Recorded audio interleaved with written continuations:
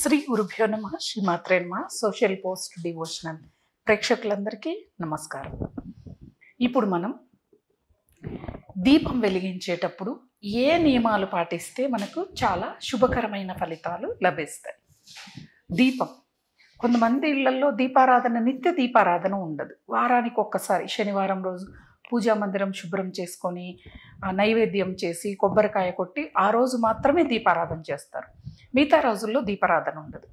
కొంతమంది ఉదయాన్నే ఉదయం మాత్రమే పువ్వులన్నీ తీసి శుభ్రం చేసి ఒక అగరబత్తి వెలిగించి దేవుడికి నమస్కారం చేసుకోవటం వాళ్ళ కుటుంబ సంప్రదాయం. ఇంకా కొన్ని కుటుంబాల్లో ఉదయం మాత్రమే దీపారాధన చేస్తారు సాయంకాలం దీపారాధన వాళ్ళ ఇంట్లో సాంప్రదాయం ఉండదు. అలా చేస్తారు. కొంతమంది ఇళ్ళలో ఉదయము సాయంత్రము దీపారాధన చేస్తారు. ఇది చాలా వరకు ఉంటుంది. అలాగే దీపారాధన. కొంతమందికి ఒకే ప్రమిద మీద దీపం పెట్టడం సాంప్రదాయం. కొంతమందికి రెండు ప్రమిదల్లో దీపారాధన చేయటం అలవాటు. కానీ మన సాంప్రదాయం ఒకటే అయినప్పుడు ఇన్ని రకాల సాంప్రదాయాలు ఎలా వచ్చాయి అంటే ఇవన్నీ కూడా అండి కాలానుగుణంగా మార్పులు చెందాయి. సాంప్రదాయం అందరికీ ఒకటే. దీపాలు పెడితే రెండు దీ కు- ప్ర దీపపు కుందులు పెట్టాలి. ఉదయం సాయంత్రం దీపారాధన చేయాలి. ఇది ప్రతి ఒక్కళ్ళ సాంప్రదాయం. ఇప్పుడు ఇంటికి వచ్చే కోడలు ఉంటుంది ఆ కోడలు సాంప్రదాయాన్ని మారుస్తుంది. ఆ కోడల వరకు ఆ సాంప్రదాయం నడుస్తుంది. ఆ వచ్చిన కోడలు ఇంకోటి పెడుతుంది. అలా మారటం వల్ల ఇన్ని రకాల సాంప్రదాయాలు అయ్యాయి మనకు ఉండేది ఒకటే సాంప్రదాయం. రెండు దీపపు కుందుల్లో రెండు రెండు ఒత్తులు వేసి దీపారాధన చేయటం మన సాంప్రదాయం. దీపం జ్యోతి పరం బ్రహ్మ అన్నాం. జ్యోతిలోనే భగవంతుణ్ణి చూసుకొని మనం ఆరాధన చేయాలి. మనకు మకర సంక్రాంతి రోజున శబరిమలలో అయ్యప్ప స్వామి జ్యోతి రూపంలో మనకు దర్శనమిస్తారు కదా? అంటే ఆ జ్యోతిలోనే భగవంతుణ్ణి మనం చూడాలి. మనం దీపం అనగానే చీకటిని పారద్రోలి మనకి వెలుతురిని ఇచ్చేది. అలాగే మనలో ఉన్న అజ్ఞానాన్ని తొలగింపచేసి జ్ఞానాన్ని ఇచ్చేది అని కూడా మనం చెప్పొచ్చు. అలాగే ఈ దీపారాధన మనం ఏ విధంగా చేయాలి?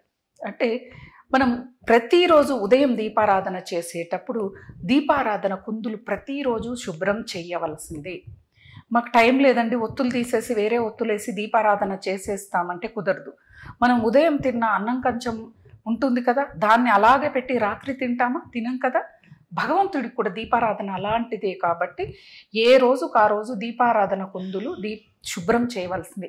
మీరు మట్టి పెట్టుకుంటారా ఇత్తడివి పెట్టుకుంటారా బంగారు పెట్టుకుంటారా వెండి పెట్టుకుంటారా ఏ దీపారాధన కుందులు పెట్టుకున్నా ప్రమిదలు పెట్టుకున్నా కూడా ప్రతిరోజు శుభ్రం చేయవలసిందే ఉదయం.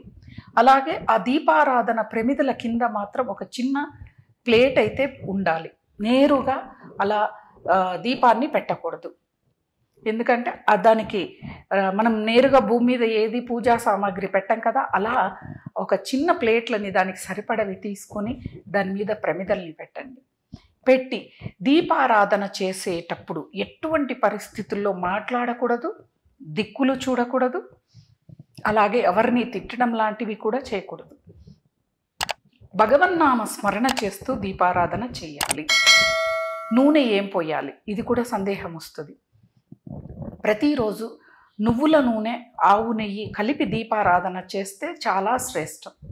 లేదండి పూజ నూనె దొరుకుతుంది అంటే దాంతోనే చేయండి. దానిలో కూడా అన్ని రకాల నూనెలు కలిపి మనకి అమ్ముతారు కాబట్టి.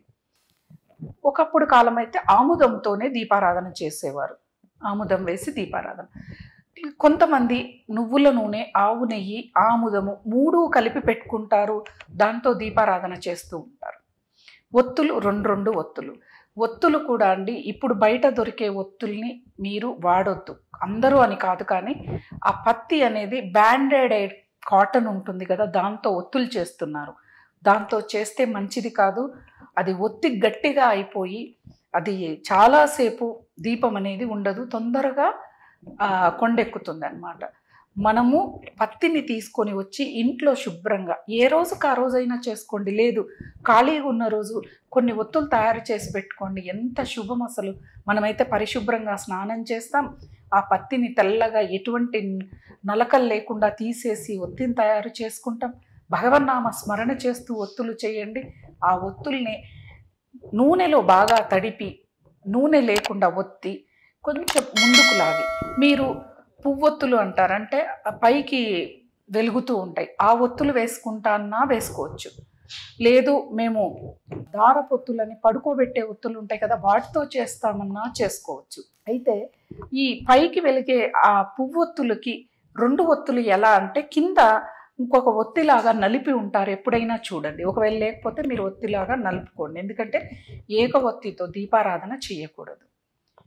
సరే రెండు ప్రమిదలు ఉంటాయి రెండు దీపాలు వెలుగుతున్నాయి కదా అంటే సరే ఒక్క ప్రమిదతో దీపారాధన చేసేవాళ్ళు మాత్రం రెండు ఒత్తులు ఉండాల్సిందే అవి కూడా. లేకపోతే ఒకటి పడుకోబెట్టండి ఒకటి నిలువుగా పెట్టి దీపారాధన చేయండి. చేస్తూ భగవన్ నామస్మరణ ఏమీ రాదు. ఓం నమో నారాయణాయ ఓం నమో నారాయణాయ. లేదు. ఓం నమ శివాయ ఓం నమ శివాయ ఈ మంత్రమే చేస్తా. లేదు నాకు అమ్మవారు అంటే చాలా ఇష్టం అండి. ఓం శ్రీమాత్రే నమ లేకపోతే ఓం శ్రీ లలితాదేవి అయి మహ అనుకుంటూ దీపాన్ని వెలిగించాలి. ఎలా వెలిగించాలి? అంటే చాలామంది అగ్గిపెట్టని ఇలా ముట్టించి ఇలా వెలిగించేస్తారు.